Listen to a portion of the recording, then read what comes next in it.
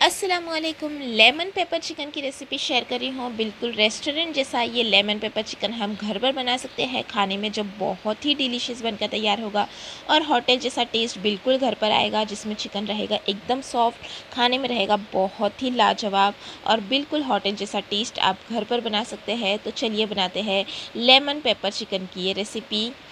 तो यहाँ पर ये तंगड़ी के साथ हम इसे बनाने वाले हैं। तो ये मैंने चिकन की टांग ले ली है। पाँच पीस मैंने ले लिए हैं इसके। और यहाँ पर इसे मैंने डीप कट लगा लिए है। तो चलिए मैरिनेट कर लेते हैं हम इसे। तो यहाँ पर तीन हरी मिर्च और साथ में थोड़ा सा हरा धनिया, इसका पेस्ट मैंने बना लिया है, वो हम डाल देंगे। साथ ही साथ हम इसमें ऐड करेंगे एक टीस्पून भरकर अदरक लहसुन का पेस्ट, आधा नींबू का रस। तो नींबू का रस भी हम इसमें डाल लेते हैं। और साथ में एक टीस्पून जाएगा काली मिर्च का पाउडर। एक टीस्पून भुने हुए ज़ीरे का powder half teaspoon chaat masala और 100 ग्राम हम इसमें ऐड कर लेंगे दही। तो दही भी गाढ़ा वाला दही मैं इसमें ऐड कर रही हूँ तो ये दही भी हम इसमें ऐड कर लेते हैं। और ये सारी चीज़ों को हम मिला देंगे। तो चलिए सारे मसाले, दही और चिकन में हम अच्छी तरीके से मिक्स कर लेते हैं।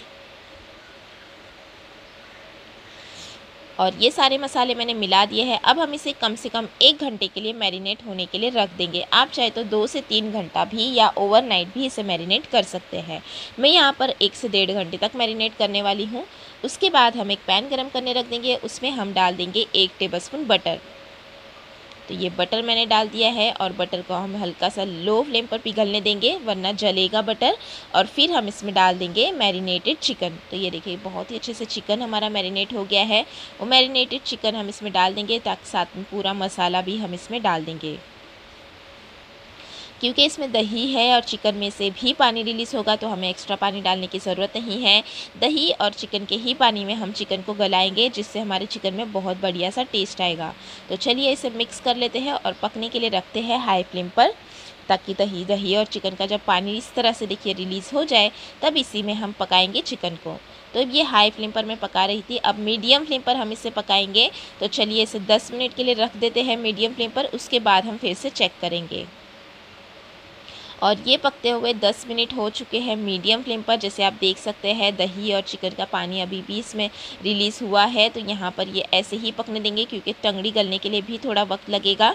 तो इसी पानी में अब हम लो फ्लेम पर पकाएँगे लगभग 20 मिनट के लिए, ताकि हमारा चिकन बहुत अच्छे से गल जाए। तो इसे हम पलट लेंगे और फिर पलट कर हम इसे पकाएँगे। बीच बीच में हम इस तरह से चिकन को अलट पलट करते रहेंगे, ताकि हमारा चिकन बहुत ही अच्छे से सॉफ्ट हो जाए और गल जाए।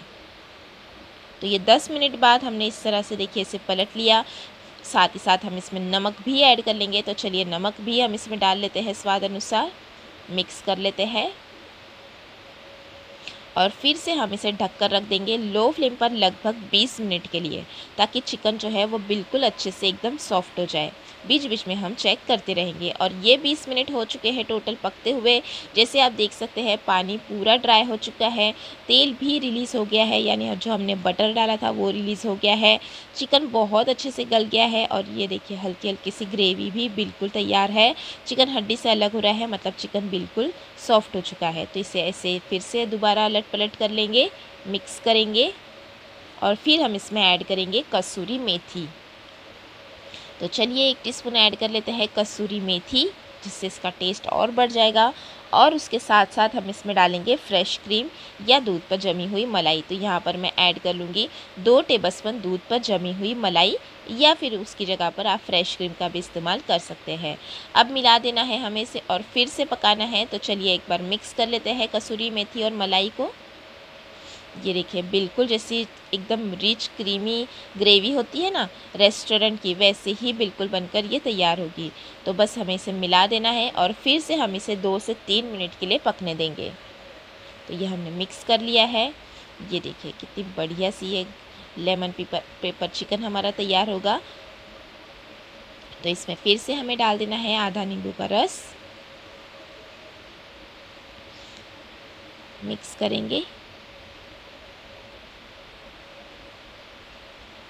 और ये बहुत ही बढ़िया सा हेटेल जैसा लेमन पेपर चिकन बनकर तैयार है। तो दो से तीन मिनट मैंने पका लिया और ये देखिए, एकदम रिच क्रीमी ग्रेवी खाने में बहुत ही ज़बरदस्त सा ये चिकन की रेसिपी तो चलिए गर्मा गर्म अब हम इसे कर लेते हैं सर्व चिकन जो रहेगा एकदम सॉफ्ट सॉफ्ट और ये बहुत ही बढ़िया सी इसमें ग्रेवी तो आप भी ज़रूर इस तरीके से ये रेसिपी बनाइएगा। आप सभी को बहुत बहुत बहुत पसंद आएगी। आप इसे सर्व कीजिएगा रोटी पराठे के साथ। और ये हमने सर्व कर लिया गार्निश कर लिया हरे धनिए के साथ। इस तरह की ये रेस्टोरेंट जैसी चिकन की रेसिपी आप भी एक बार ज़रूर ट्राई कीजिएगा। आप सभी को बहुत पसंद आएगी ये लेमन पेपर चिकन की रेसिपी और गर्मा गर्म आप इसे इसी तरीके से सर्व कीजिएगा। रेसिपी कैसी लगी मुझे कमेंट बॉक्स में ज़रूर बताइएगा। अच्छी लगी तो लाइक और शेयर ज़रूर कीजिएगा और चैनल को सब्सक्राइब करना तो बिल्कुल मत भूलिएगा और इसी तरीके से रेस्टोरेंट स्टाइल ये रेसिपी ज़रूर घर पर बनाइएगा भी। Thanks for watching.